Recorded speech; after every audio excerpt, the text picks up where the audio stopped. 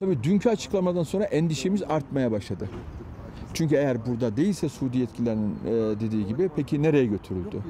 Bu konudaki endişemizin kaynağı şu. Suudi Arabistan'ın son bir yıl içinde yaptığı uygulamalar bizi bu konuda endişelerimizi daha da arttırıyor. Bir, bu işin takipçisi olacağımızı ifade ettik ve takip ediyoruz ve Cemal Bey çıkıncaya kadar da bu işin peşinde olacağız.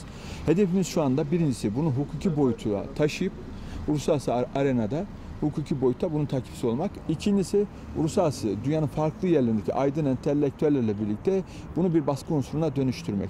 Ee, Suudi Arabistan'da şu anda e, Washington'da, Paris'te, Londra'da Cemal Bey'i tanıyan, bilen birçok aydın entelektüeller bu anlamda Suudi Arabistan konsolosluklarına baskıya başladılar ve bu devam ediyor şu anda.